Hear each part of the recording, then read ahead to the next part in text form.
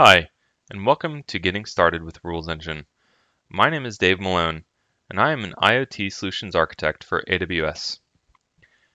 In this tutorial, we will cover Rules Engine, a feature of AWS IoT Core which makes it easy to route device data to and from AWS services. Rules Engine makes it possible to build IoT applications that gather, process, analyze, and act on data generated by your devices without having to manage any infrastructure. For example, you can evaluate incoming messages and route them to AWS services, including AWS IoT Analytics or Events, AWS Lambda, Amazon Kinesis, Amazon S3, Amazon Simple Notification Service, and many more.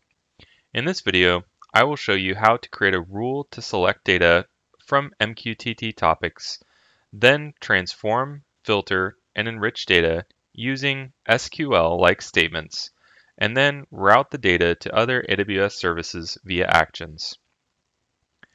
To follow along with this demo, you will need a device or devices registered and have a device SDK which are publishing messages to the AWS IoT Core Broker. If you are following along from the IoT Quick Connect video, I will be using the same device setup later in this video. I'm going to start by showing you where rules exist in the AWS IoT console. After logging into the AWS Management Console, I will navigate to the AWS Core Services. Once within the AWS IoT console, I'm going to go ahead and click the Act menu on the left-hand navigation menu.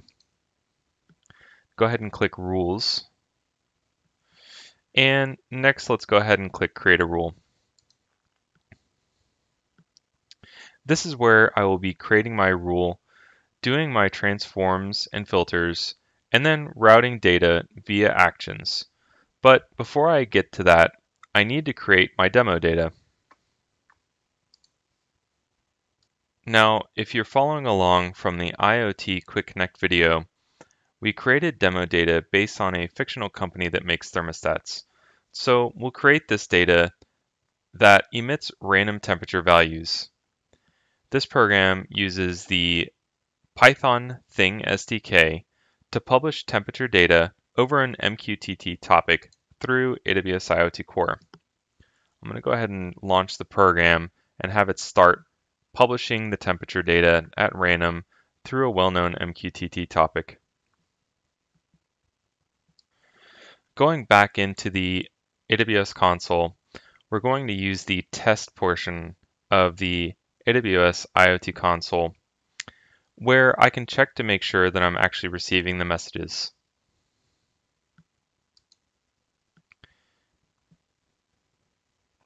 Here, I'm going to subscribe to the topic that I'm publishing to. In this case, I have a topic structure that looks like this, and I'm going to use a wildcard at the end so that I can subscribe to any device messages that come in on one subtopic level lower than the given topic structure that you see here. Go ahead and click on subscribe to topic. Now you can see that the messages are flowing through on this expected topic structure.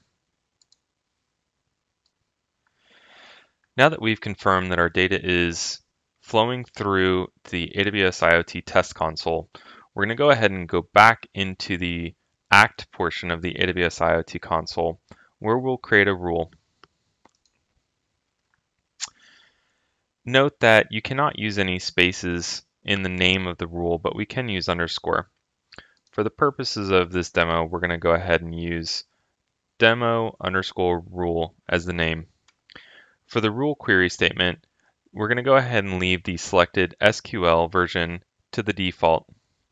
You can learn more about the values here in the AWS IoT Core documentation. Next, you'll see a text area where you can write your SQL-like statements to query incoming messages from your MQTT topics. There's a helpful link right above the box to see what SQL statements are supported today. We're going to start by selecting the same MQTT topic that we used in the test console to subscribe to our messages. In this case, the rules engine also supports wildcards. Next, we can select which actions to use when our query criteria are met to route message data to other AWS services. As I mentioned earlier,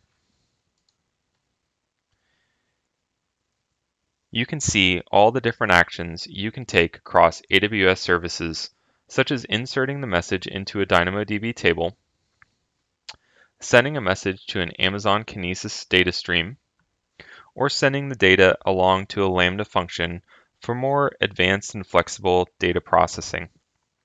In our use case, we're going to imagine that we have thermostats that are running in a restaurant freezer environment and we want to send a notification to the restaurant manager and the restaurant owner if the freezer temperature goes above freezing in degrees Fahrenheit in events where maybe the freezer door was accidentally left open or the freezer just malfunctioned.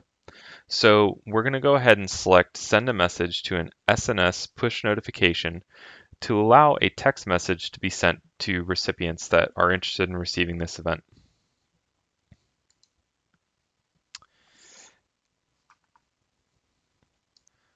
Next, we'll need to either create or select an existing SNS topic.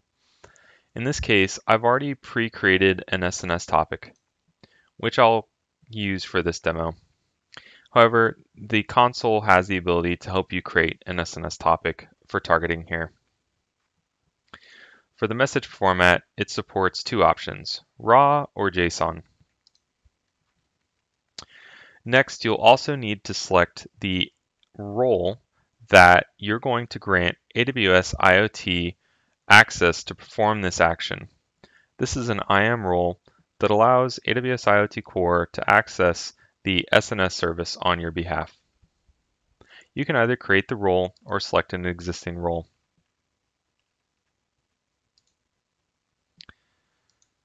And go ahead and click Create Action. Now, it's actually best practice to also create a corresponding error action that would be executed in case something goes wrong with processing the rule. However, we're not going to configure that as part of this demo. For more information on that, please see the AWS IoT Core documentation.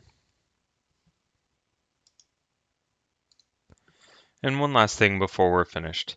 We're going to go back to our rules query statement we actually only want to send an SNS notification if the temperature is in fact over our desired temperature. So I will edit our SQL statement, adding our filter in the rule statement, adding the where clause, and a measurement evaluation where the temperature is greater than 31 degrees Fahrenheit. Finally, go ahead and click Create Rule.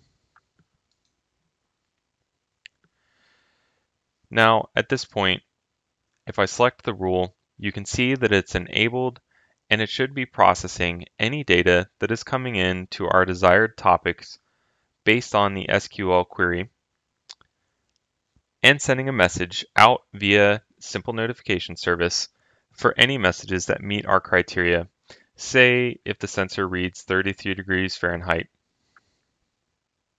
So in this video, we walked through Rules Engine and set up a rule based on incoming messages on our temperature topic, and then we added a filter via our SQL-like query to only apply the rule if the message exceeded our threshold of 31 degrees Fahrenheit. finally, we set up an action to trigger a push notification via simple notification service to notify any interested parties that this criteria has been met.